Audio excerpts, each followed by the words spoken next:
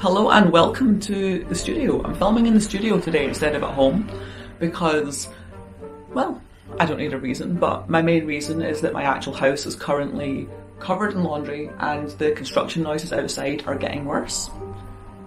I think they're going to be finished with the project soon and maybe it'll be quiet there again, but for now, we're filming in the studio. So welcome to my studio. I have another sewing video for you today, another sewing project. I am I'm quite proud of this one. I think I'm I can actually feel myself getting better at sewing and getting more excited about doing more and more elaborate stuff. So that's fun. Um, this one was a challenge because it really did have to be good because it was for a wedding. Um, so, you know, picture the scene. I recently found out I'm allergic to pretty much all of my clothes.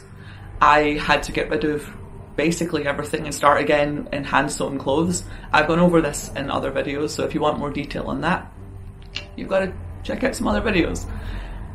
So I have not many clothes. And one of my frilliest friends is getting married. I had to make something frilly, right? Right? I had to. I was going to do it eventually anyway. And Josephine was getting married, so this was this one had to be special. It had to be important. And I'm just going to take a quick minute to plug Josephine's Twitch and stuff. She she streams over on Twitch. Her name there is Cake Jumper. I'm not really a Twitch person, and I never really got into live streaming, but she's my friend. Go check her out. I'm sure you'll love her. I so for this project, I had a few things I wanted to do specifically, other than just it had to be wedding wedding worthy and that it had to be frilly because I'm not gonna I'm not gonna turn up to a frilly wedding not also in frills, right? Um, I also specifically wanted to use a vintage pattern because I have a couple of vintage patterns and I really wanted to use one of them.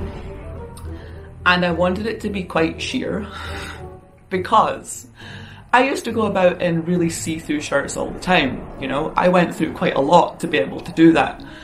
And I miss it and I think it suits me. So it had to be frilly, it had to be wedding worthy, it had to be vintage patterned, and it had to be. I, I had, my nipples had to be visible if I take my coat off. Those were my four criteria for this shirt. And I nailed it. I'm gonna skip to skip the drama. There's a lot more to this video, but frankly I nailed it.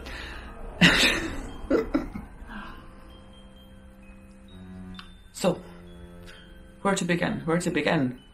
Where to begin with picking a pattern?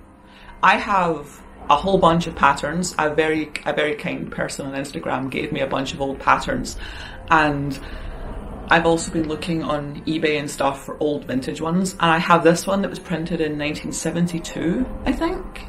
I'm pretty sure it's 19 it was 72 or 73 or whatever, and it seemed perfect because I could just do that but double the size of the frills, right? There's nothing stopping me doing that. That was the plan. The next step was to buy fabric. And fortunately for me, it turns out that cotton muslin is the cheapest fabric because people use it for practice, which is fair. And because it's cheap and easy to get, it's um wait. No, it's cheap. It's easy to get and it's quite see-through because it's made to be it's not made to be full garments I suppose. So it's sheer it's cheap. I got lots of it. I asked for three meters because I knew I wouldn't need that much for this shirt but I asked for three meters because I want to use it to make this shirt and then possibly to make some other stuff on top of that. But then when they were rolling out the fabric in the shop it had some marks on it. So they went past that and said, they were going to give me another meter. And then the next bit had um, like a little hole in it. So they decided they were going to just scroll past that and give me another meter, which was very kind of them, but because it doesn't really matter to me. Like I can just cut around that stuff, surely. Or, you know, I'll wear clothes with holes in them, I don't mind. But in the end I ended up with five meters of this fabric, even though I only asked for three, which was just wonderful fabric shop people are so nice sometimes. That also means that you're going to see a lot of clothes in the future made with this fabric because I have so much of it. And I already have plans for the next thing. So, yeah. I've got five meters of very sheer fabric. I've got my vintage pattern. All I need to do now is turn it into a shirt. Which is the hard part, obviously. Now, I've mentioned in a couple of my previous videos about sewing that I have this one friend who's really good at sewing and has been teaching me a lot of stuff. And also doesn't like to appear in videos, so I always make it look like I'm sewing alone or that I'm working with ghosts. But, um, her sewing machine is way better than mine, and mine is Mine was good enough for what I wanted it for. When I first got my sewing machine, I specifically wanted a cheap, easy to use one that I could practice on. And at the time, I didn't anticipate having to make all of my own clothes. You know, I got this machine back when I just thought I was going to be making small things or maybe learning to make elaborate things, but doing it over time. And then, obviously, at the end of last year, I discovered I was going to have to learn to make all of my own clothes forever. So my sewing machine is gubbed. It's not completely gubbed, it's not unusable, but it's really struggling. and this friend has a much better one. So I went to her house to do it. Um, me, me and my girlfriend just took her stuff over there and we spent an afternoon just hanging out, listening to music, eating snacks and sewing and it was great. It was great. I'm going to do it a lot more probably because it's a really nice environment and her sewing machine is so good. It's so good. I literally did about I did all of every single part of this. I I stitched first with a straight stitch and then went over it with a zigzag. She taught me to do that because it holds it together better, which makes sense and it really needs strongly held together, I guess, if it's such a flimsy fabric. Made sense to me. Anyway, I did all of that, not just not just going over each seam once, going over each seam twice, and her sewing machine didn't gum up or snap threads or throw a berkey at me even once. Not even once. Not even once. My sewing machine could never. Could never do that. My sewing machine can do maybe two and a half lines of stitching before it gums up. And then it could maybe do another one, um, obviously after you fix it again. It'll maybe do another half before it snaps the thread. And then it'll maybe do another line before literally just stopping for no reason. My, my point is, my point is, I need to get a better sewing machine, and in the meantime, I'm probably going to sew at my friend's house. As an added bonus, that means you get to see her cat. I will insert footage here of the cat. This is Chives. He's wonderful.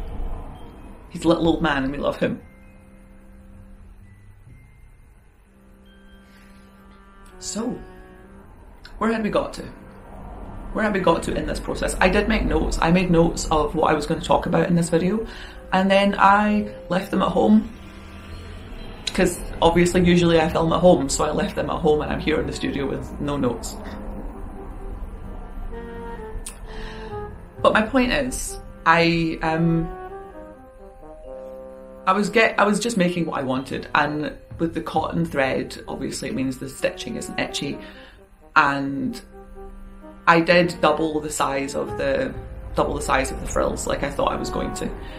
Um, this friend who's good at sewing also told me that I could cut bits on, if it's diagonal on the fabric, then I could just leave the edges raw and they would fray but not come apart completely, which sounded like a cool look, so I went with that. Um, the frills have unfinished ragged hems on them, and I don't understand how that works not really. I don't understand why it being diagonal means that it won't fray entirely, but I trust her. I trusted her, and she was right because she always is. And um, every time I wash and wear this shirt, it gets a little more frayed and tattered looking, but it's still got its big massive frilly cuffs and its big massive frilly collar, which is great. I kind of love it. I love that look now. It's great.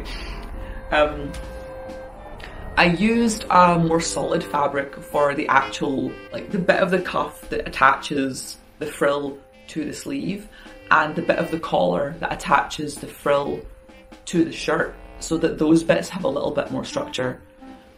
Um, it just felt more secure that way. It seems like it makes sense. It looks kind of cool.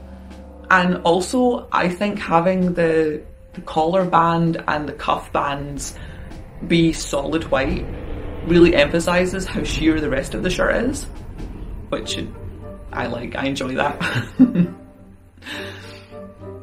um, Buttons. Buttons is another thing. I have been avoiding putting buttons on clothes because my sewing machine doesn't have a button setting and I didn't really know how that worked. Um, it does have a setting that you can use to make buttonholes, but it is a huge pain in the dick to do, so I just don't do it. My friend's sewing machine not only has a buttonhole setting, there's a little thing that you just put the button in and it slides to the right size. It, it's so easy. It's so easy and I did it so quickly. I need a better sewing machine team. I really, really do. Anyway, the shirt was completed. We did it in one afternoon. It was wonderful. It was ready to go. And then that week, I flew over to Ireland and I went to Josephine's wedding and it was beautiful. It really, really was. It was such a good day. Um, it was a long day for me because we flew over in the morning and then got there and to the wedding venue and everything by the afternoon. And I was, you know, when you go beyond tired back into being energetic. Yeah, I kind of got that way, and I knew I would, and it was so good. It was so good, and there was loads of people there that I hadn't met in person before, and there was a lot of people there that I have I have met in person before but don't get to see regularly or haven't seen in years. And obviously Josephine got married. Josephine and McDara got married. Not sure how he feels about being mentioned, but here we go. I have been I have been given permission to like name and shame and show some pictures. So I will. I can and I will, and I'll show you pictures I'm in also because I'm wearing my fabulous shirt. Oh, I can't believe that was that was what a week ago. By the time you guys are seeing this, it'll be a couple of weeks. But for me, right now, recording it, it's about a week ago, and I am full of ideas, full of ideas for more stuff to make because um, now that I know I can, it's it's pinging in my brain all the time. It's great. It's great. It's just another. It's literally just another art form that I've gotten into making clothes is an art. It is specifically, I think, a type of sculpture which I was never good at, but art's art, isn't it?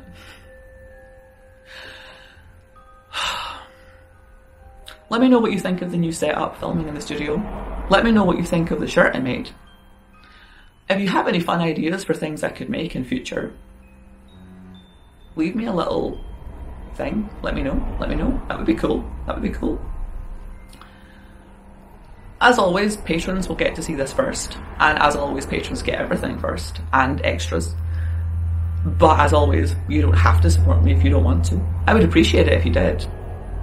If you want more stuff that I'm doing and you want everything early, you only have like you can pledge just like one dollar a month and that's fine. There's obviously more stuff for higher tiers, but you don't have to. You can if you want to. I would appreciate and love you if you did. I've forgotten what else I have to say. I think I'm done. Cheers. Here we go. Keep keep your eyes peeled for more. I've also been making more jewellery. I've been making jewellery again. I've been making clothes. I've been painting again. There's all sorts going on. Okay. Love you all. Take care.